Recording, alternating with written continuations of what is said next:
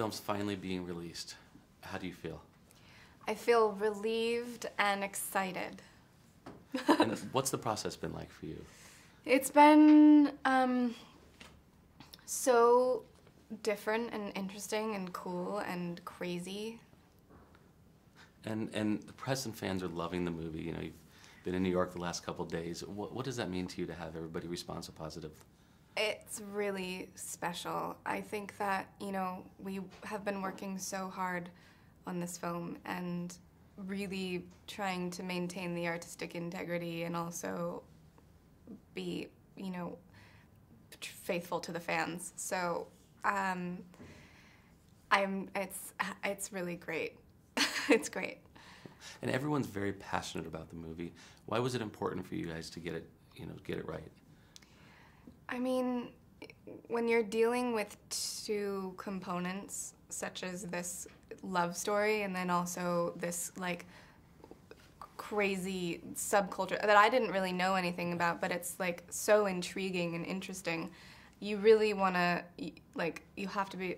We had to be very careful and and um, really stay true to the fans, which was important. And because there are so many people who really really love this book and there's so many bits that you know they worship so we had to get those in but we also wanted to make it different and make it a real film.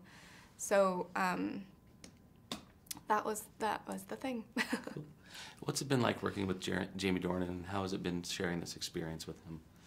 It's been so lovely. I think that we got really lucky. Um, mm-hmm.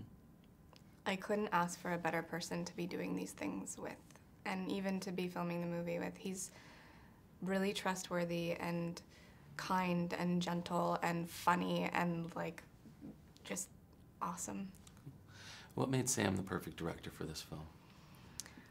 I just think that Sam is the most wonderful person. Um, she has, she's a real true artist. She sees the world in such a beautiful way and um, she really understood all of the underlying components of the film, and that's where we sort of lined up um, with the emotional, the emotional pull and the um, comedic moments, and then the sexuality and the difference in that, and she really did everything, and then managed to also make it look extraordinarily beautiful.